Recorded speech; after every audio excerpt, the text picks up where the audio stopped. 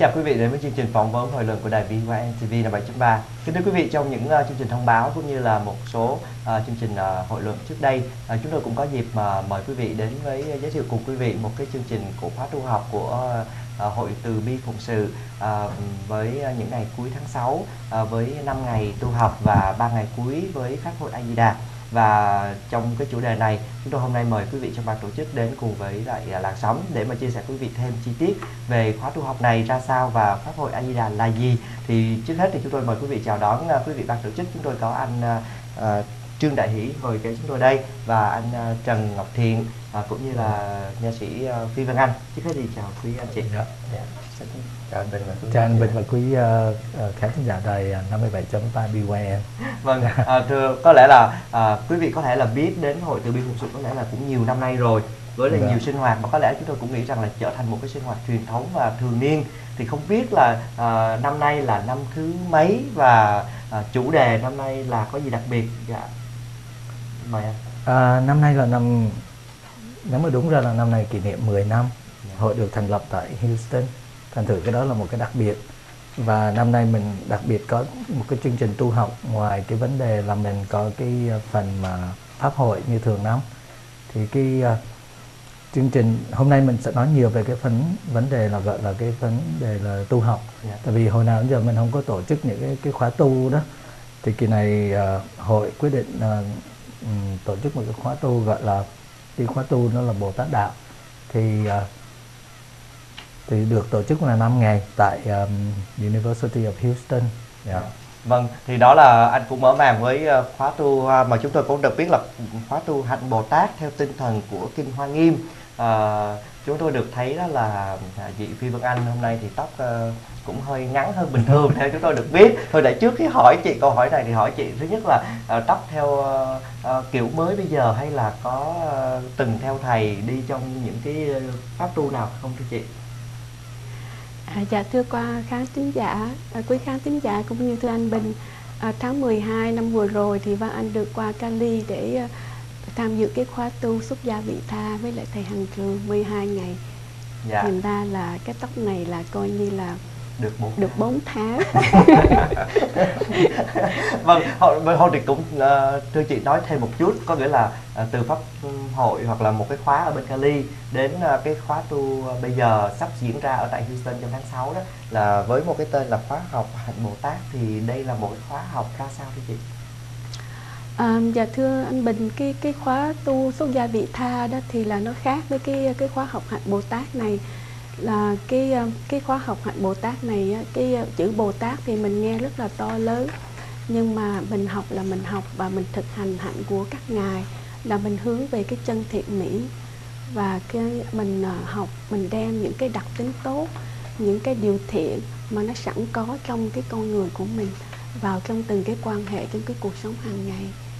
Để mình có một cái cuộc sống khai mở mình có một, à, cái cuộc sống của mình sẽ là một cái cuộc sống mà kết thiện duyên mình giải gút thắt mà mình sống với cái tâm vị tha và mình cũng uh, phục vụ cho uh, xã hội. Vâng. À, cảm ơn chị. Cũng như là theo như uh, quý vị thấy thì khóa tu uh, học thì chúng ta thấy nó kéo dài 5 ngày.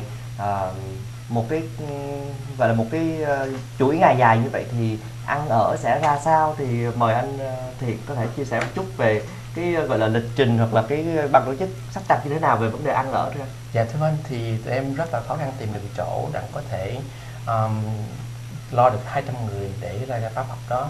Thì tụi em có tìm được UH ở Central thì cái đó rất là tiện cho các bác uh, cho các uh, quý khán thính giả.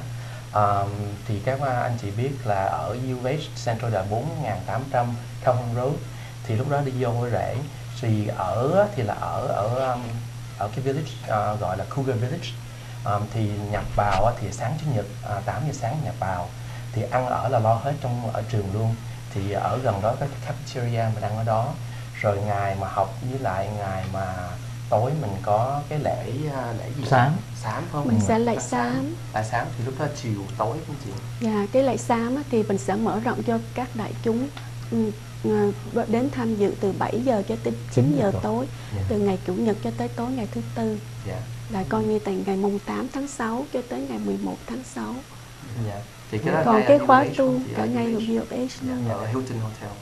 À, có nghĩa là là có phải là mình ở trong cái dorm của sinh viên không? Hay là cái khu này khu riêng ờ, gần trong UVS thì cũng có cái hotel ngay bên cạnh nữa? Dạ vâng, thì cái chỗ mà làm lễ lớn á, thì là ở Hilton Hotel. Ừ. Thì cái chỗ đó các học viên họ học ở đó Nhưng mà các à, anh chị, các quý khán giả thì ở cái khu village là của dorm của học sinh Thì mỗi người sẽ ở trong một cái phòng thì có bốn người trong phòng đó Thì chia ra như vậy thì nam một bên, nữ một bên riêng Dạ. biệt với nhau à, có nghĩa là mình đi đi về về À, từ khu. cái khu dorm đó đến cái khu mà gọi là cái um, chỗ tổ chức là cái khách sạn Hilton Khách sạn Hilton Đúng rồi. Thì Như ngay vậy chỗ ờ, cái, ờ, cái uh, University Center, nghe đó là University Center. Ngay cổng chính đi vào cổng chính vào, dạ cổng một, dạ đúng vâng rồi. thì ờ, nếu mà một số quý vị nói là thôi thì tôi cũng ngay ở tại Houston đây thôi thôi thôi thì cứ lễ thôi hoặc là xong khóa tu á thì tối tối tôi về. Thì Dạ. như vậy được không? Hay là bắt buộc hay là chọn lựa được của những người tham dự viên ạ cái đó thì không bao giờ bắt buộc tại anh Dạ. là tự- xứ này xứ tự do. Dạ. Nhưng mà ừm, ban tổ chức khuyên nên ở lại.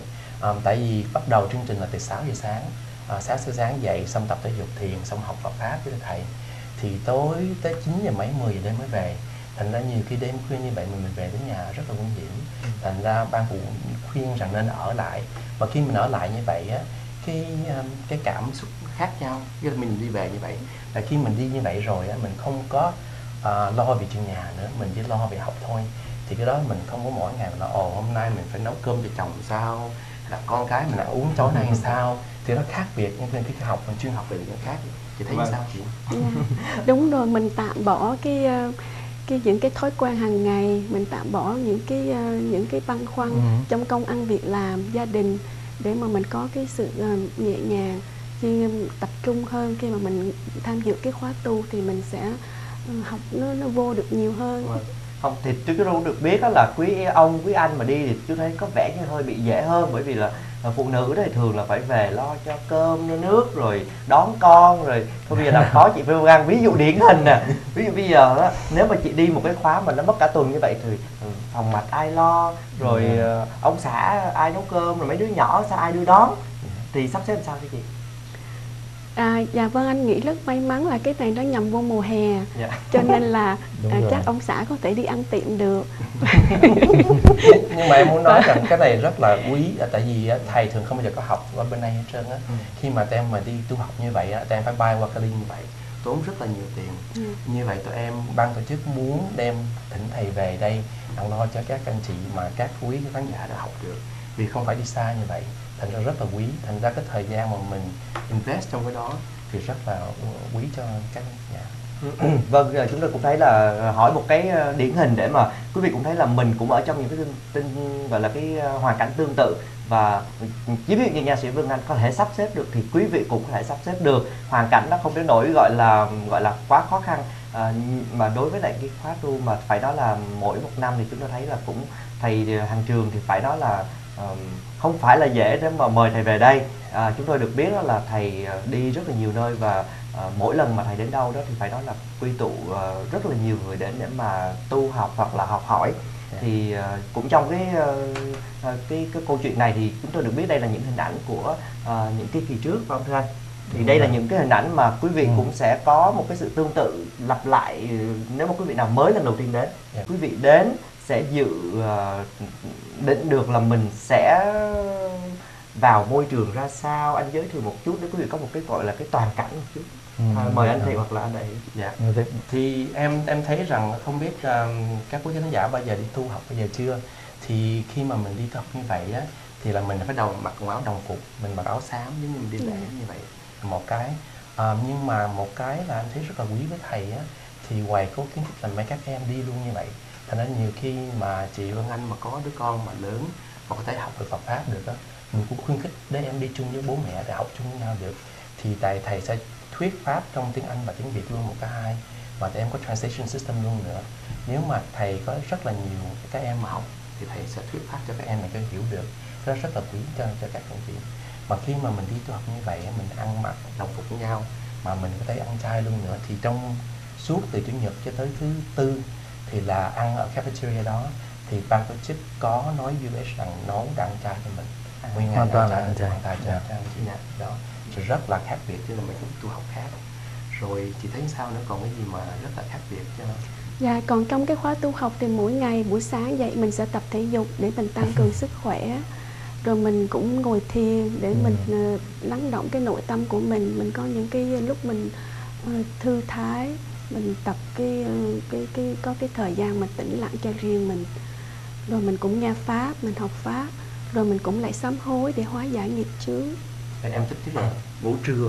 Dạ. chưa được ngủ trưa được à có có có có nghĩ Dạ. Dạ, có nghĩ, dạ, có. vâng. hai tiếng đồng hồ buổi trưa để mình Ừ. nghỉ ngơi mình ăn ăn trưa rồi mình Vâng, có thật thì khi các anh chị nói như vậy đó thì chúng ta thấy là cái cái lịch trình thì nó rất là tiện nếu mà quý vị ở trong cùng một khu với nhau và sinh hoạt trong suốt mấy ngày như vậy à, cũng là tình thân thiết hơn nữa. Nhưng mà chúng tôi cũng, cũng nghe nói là ban tổ chức nói đến là có buổi tối thì có những cái khóa ờ, gọi là khóa. Xám, Xám. đúng rồi. Bây giờ mời quý anh cho biết là khóa xám là là là cái gì? À, là khóa lễ hay là khóa kinh mình cầu nguyện hay là những cái khóa đó mà nghe nói là lại cho đại chúng đến nữa? Dạ, thì có nghĩa là lúc đó là sẽ có người đến rồi về chứ không ở dạ thưa vâng dạ cái này Dạ, đúng. nghệ Thì- thì- à. Dạ thưa cái khóa tu thì là học pháp thì là những cái người nào mà đóng ờ, các bác mà ờ, các quý vị mà ghi danh đó. ở trong dorm thì là mình học cái đó từ đó tới ờ, từ sáng cho tới uh, 7 giờ chiều xong rồi 7 giờ chiều đó có thể nói là sớm hơn tại vì mình sẽ ăn tối sáng, xong rồi sau đó Ừ. là 7 giờ thì trở lại sẽ là dạy lạy sám A Di Đà nghĩa là mình đọc ờ, mình lạy cái cái bộ sám, mình đọc những cái ờ, cái cuốn kinh, sám hối.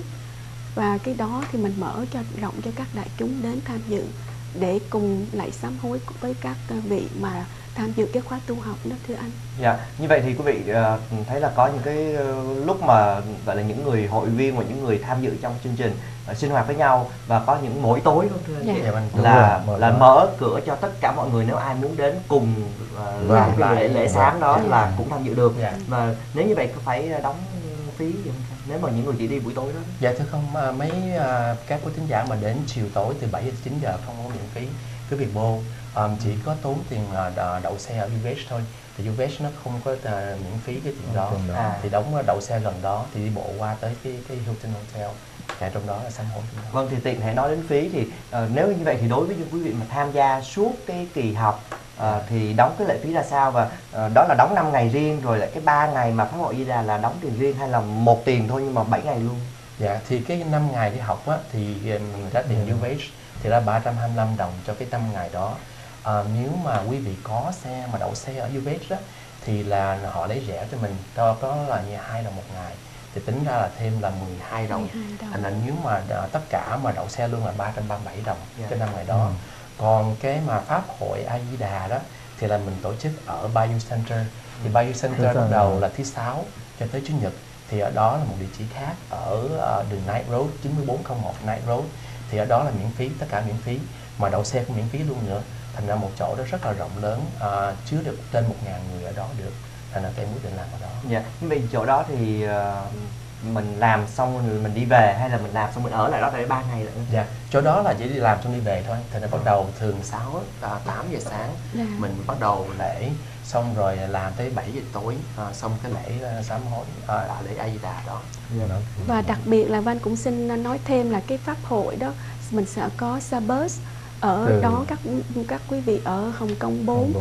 buổi sáng lúc 7 giờ sáng và đưa các quý vị về lại ờ, từ Bayou Center của nó 7 giờ tối Dạ. đưa lại về lại ờ, À như Hồng vậy thì Kông bốn. khá là tiện Dạ. cho quý vị. dạ, nếu Nhưng mà các đặc biệt nó chỉ nhớ chủ nhật nữa chị. dạ, Chủ nhật. chủ nhật thì mình sẽ có thêm một chuyến là buổi trưa Dạ. là Buổi trưa một giờ trưa một giờ rưỡi Một rưỡi trưa đưa các à, bác ở à, Hồng Kông 4 đến Bayou Center rồi đưa vâng. về lúc tối.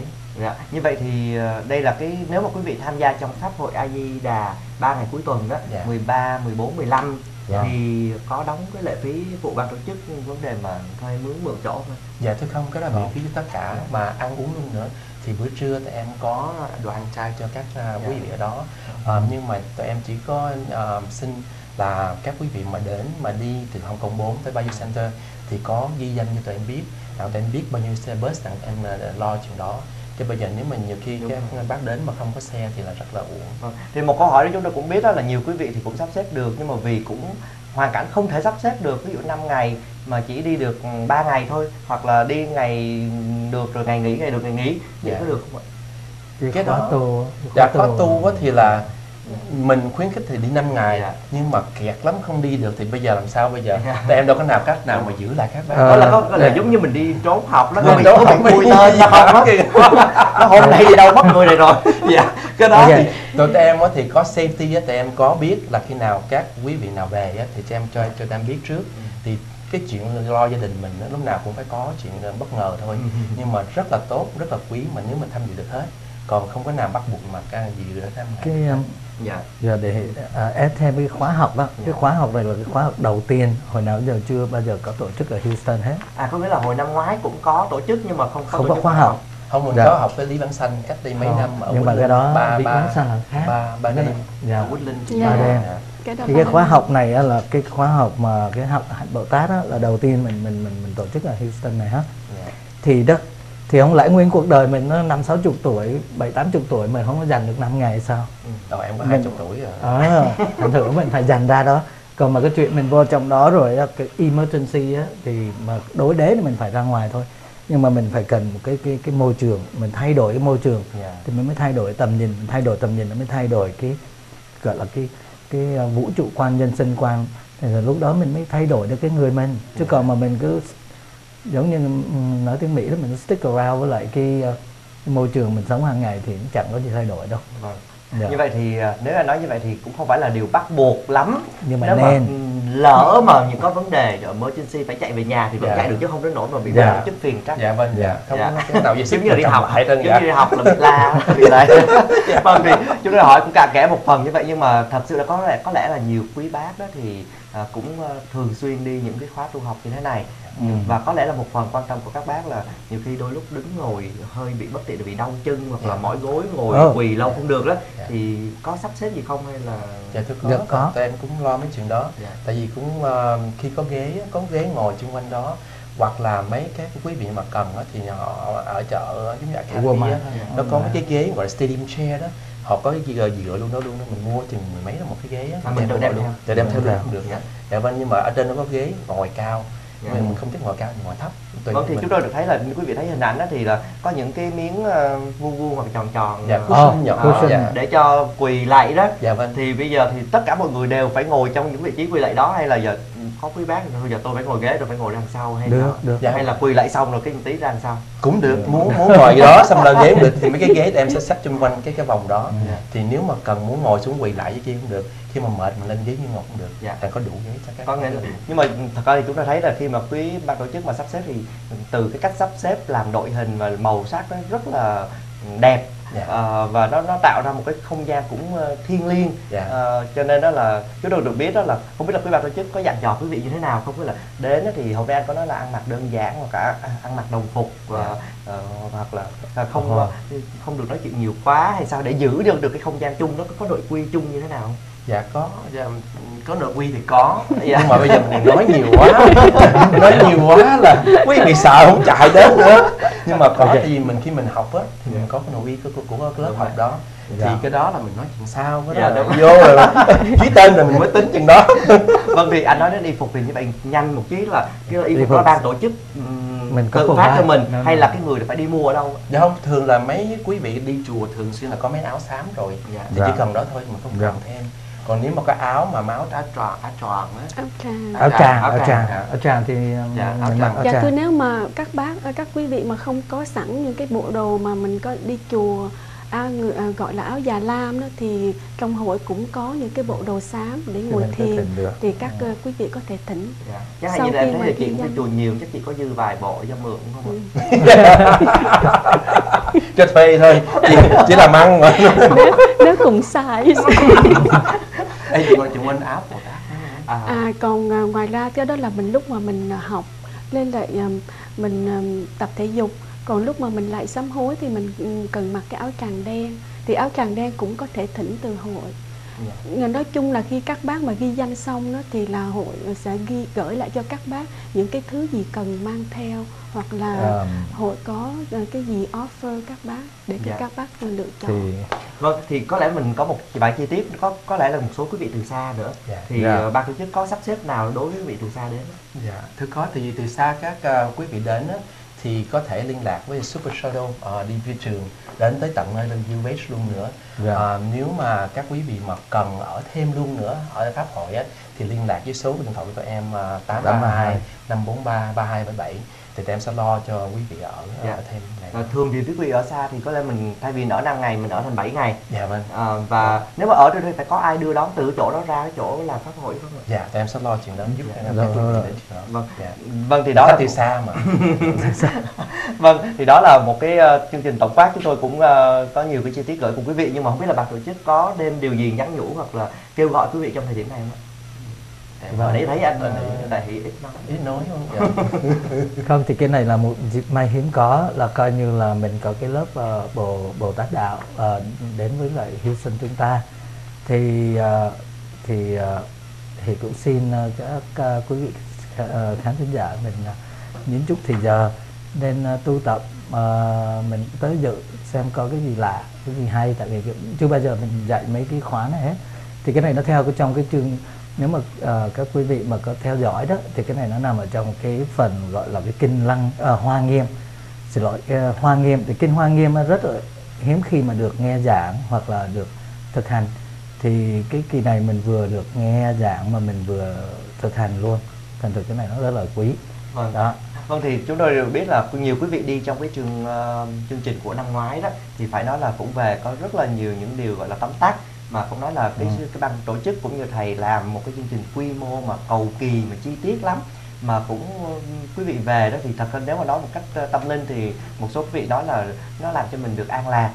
Một cách mà dân dã hơn đó thì phải nói là ừm, nhìn nó nó nó nó cái không gian nó rất là có quy củ và à, một cái không gian nó nghiêm trang và nó tạo một cái không gian rất lạ à, để mà mình có được cái cảm nhận tâm linh chứ nó không phải là cái chỗ giống như mình thường cứ đi vô đi ra cái chỗ tập thiền đó nhiều khi đôi lúc nó cũng hơi trộn rộn Ừ. à, thì bây giờ thì đó là một chút cái chương trình thì có lẽ là ban tổ chức có thể là cho một chút là tình hình ghi danh của quý vị quý bác ra sao rồi và cái ban mình có thể nhận được bao nhiêu người là tối đa Dạ.